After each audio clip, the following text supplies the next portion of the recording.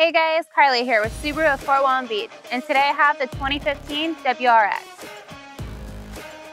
This 2015 Subaru comes in black with an automatic transmission and a 2-liter intercooled turbo engine.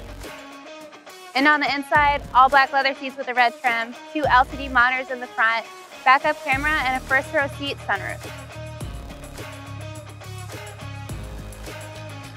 This WRX has some speed. Come try it for yourself with a test drive. If you have questions, you can contact me or comment below and see why we are a step above the rest at Subaru of Fort Walton Beach, powered by Step One Automotive Group.